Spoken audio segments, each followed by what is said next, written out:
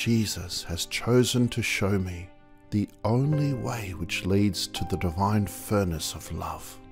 It is the way of childlike self surrender, the way of a child who sleeps, afraid of nothing, in its father's arms.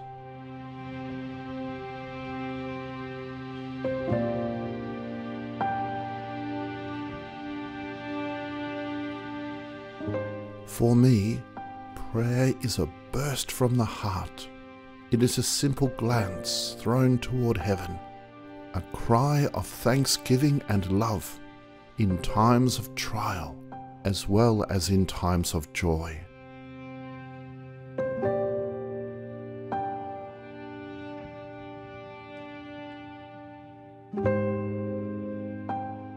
Miss no single opportunity of making some small sacrifice.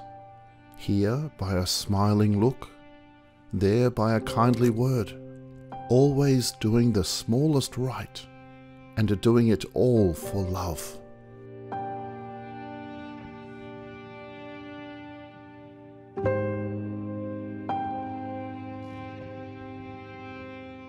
I learned from experience that joy does not reside in the things about us, but in the very depths of the soul, that one can have it in the gloom of a dungeon as well as in the palace of a king.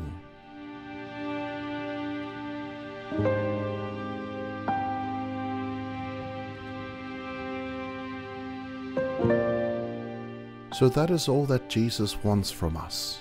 He does not need our accomplishments, only our love. He thirsts for love.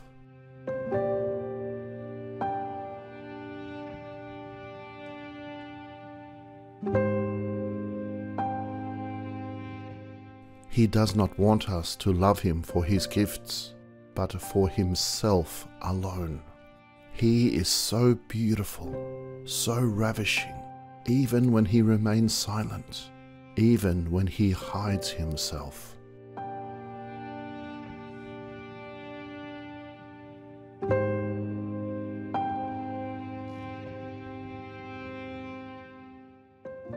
My strength lies in prayer and sacrifice.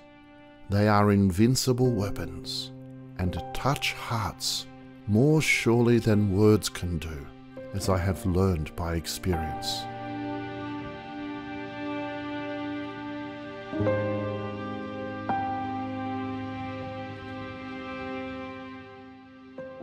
You know well enough that our Lord does not look so much at the greatness of our actions, nor even at their difficulty, but at the love with which we do them.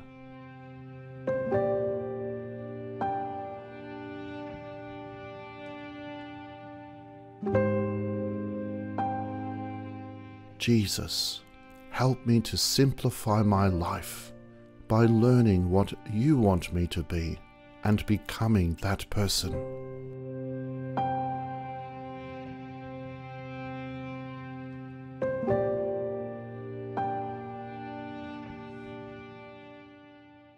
I know of one means only by which to attain to perfection love.